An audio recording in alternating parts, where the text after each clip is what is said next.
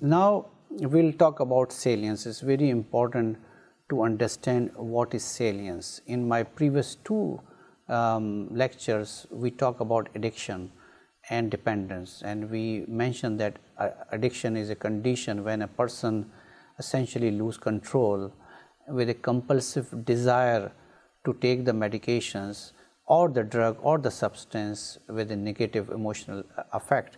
And on the other hand, dependence merely means if the substance is stopped, the person go through withdrawal. Now let's talk about salience. First, salience means something very important, something very noticeable, something when a child is young, for example, early stages, a child uh, uh, salience may be ice cream. When a child take ice cream, he feel happy. What happen is there is a substance called dopamine, which is released in the brain, which, which give pleasure effect, and and very high dopamine level may also give a feeling of high. So the initial phases of addiction, that's what happen is that the child who is happy with the ice cream and later on it may be iPad, it may be iPhone, those pleasurable things which release dopamines are lost. Now once he exposed to the drug, then his salience is drug. And if he does not find the um, um, drug, he will have negative effects. So the, the release of dopamine is shown in the studies uh, in nucleus striatum, particularly in the addicted patient, it is shown that the dopamine level goes down. So the person who is addicted, his salience is the drug.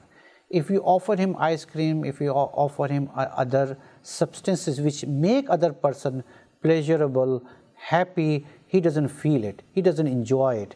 That's why many addicted patients don't eat for many days. Many people ask me, what I, uh, do I gain weight if I stop the drug? The answer is yes, you may because currently you are not eating, you are not, uh, you don't worry about food. You are only worry about our drug. Suddenly your salience will shift. Now you start enjoying the drug once you go into treatment and uh, then you start enjoying the uh, food, you start enjoying activities in life then you like to do them because uh, once a, a person's salience is only drug he just focus on the drug. He think about the drug. He has a negative and positive uh, consequences. Negative consequences applies. What happen if the drug is, is not available? A person who do not get the drug then he goes into withdrawal which are extremely harmful and extremely sometimes painful like nausea, like vomiting. It's, it's, like everywhere there are, uh, every part of the body coming out. They are vomiting, they are tearing, they may be urinating, all sorts of um, things going on in the withdrawal.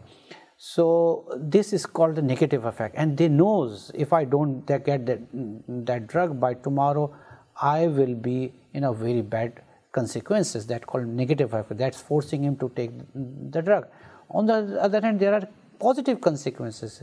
The mind is thinking about the drug. Mind is thinking what happened if i get the drug? How good i will be feeling? How normal i will be feeling? So he is trying to balance between negative and positive consequences. And of course uh, uh, um, of course a person is also developing dependence meaning he is also developing tolerance at the same time meaning the same effect require very large amount of that substance. If suppose if he is taking heroin, he initially maybe one or two back may, may be enough uh, for that person to feel normal. Now he needs one bundle or maybe two bundle. Initially he may, a person may be snorting, but now he may be shooting to get the same effect to have the enough dopamine releasing in the central nervous system. So he's trying to balance between negative and positive consequences and the result is taking extremely high dose of medications. And if he does not find he start taking drug or substances which are even more harmful. And often they die because of respiratory failure because of cardiac consequences of these drug. So uh, a person is trying to balance between negative and positive consequences. That person needs help. And that person needs to see addiction specialist. That person should go to the rehab right away instead of just blaming that person that you have a bad choices, you are a bad individual, you are in the bad company, you should be punished.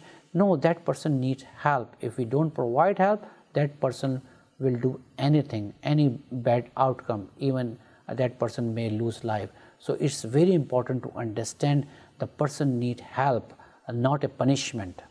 So, uh, so if we find a person who has addiction, take that person immediately to some addiction specialist to provide him help, to provide him safe environment.